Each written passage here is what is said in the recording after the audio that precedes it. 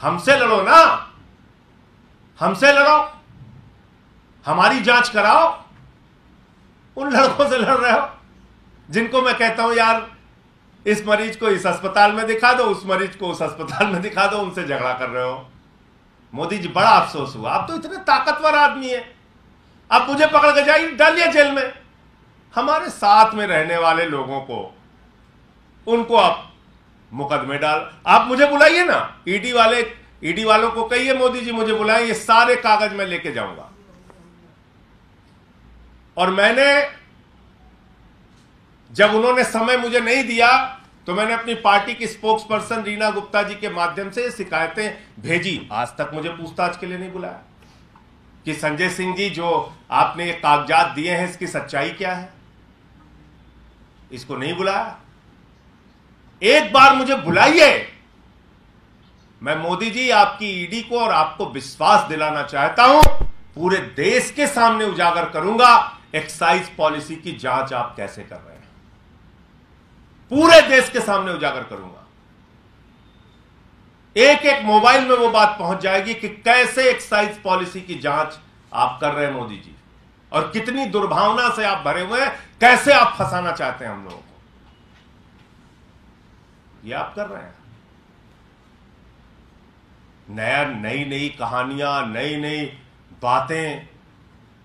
अभी पता चला एक शख्स को, जिससे पहले कई बार बयान लिया, उसने कभी मेरा नाम नहीं लिया, उसको जमानत पे बाहर करते हैं, मेरे खिलाफ तब बयान लेते हैं जब इनको गलती माननी पड़ती है। अरे अब तो गलती मान लिया, आप फंसाओ इसको। उससे कुछ कुछ लिखवा दिया। अब फिर चलो। बदनाम करो। तो ये सब धंधा बंद कर दो और मैं हमारे तीनों साथियों पे जो फर्जी, बेबुनियाद और मुझे बदनाम करने के लिए हताशा में प्रधानमंत्री नरेंद्र मोदी के निर्देश पर ईडी ने कार्रवाई की है, इस पूरे मामले की शिकायत न्यायालय में करूँगा। उनके घर पे कुछ भी नहीं निकला, उनके फ़ोन बताइए जब्त कर लिए। किसी के फ़ोन में उसके परिवार की फ़ोटो होती है उसके आ, अपनी फ़ोटो होती है वीडियो होते हैं परिवार के साथ वो सब आप रख के उसको देख रहे हो। लेकिन मेरे चैट ज़रूर पढ़ना। बहुत अच्छा लगेगा मोदी जी आपको।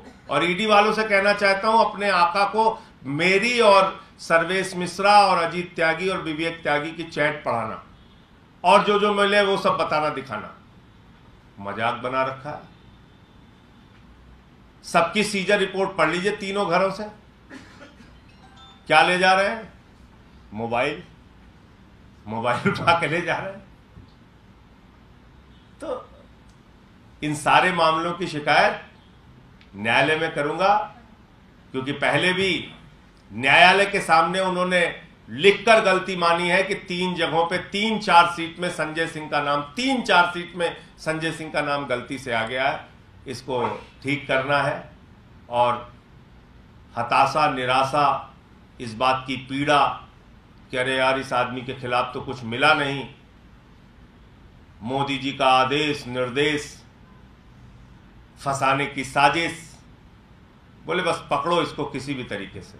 बोले, साहब, इस पे तो कुछ नहीं मिल रहा। बोले, इसके साथ वालों को पकड़ो।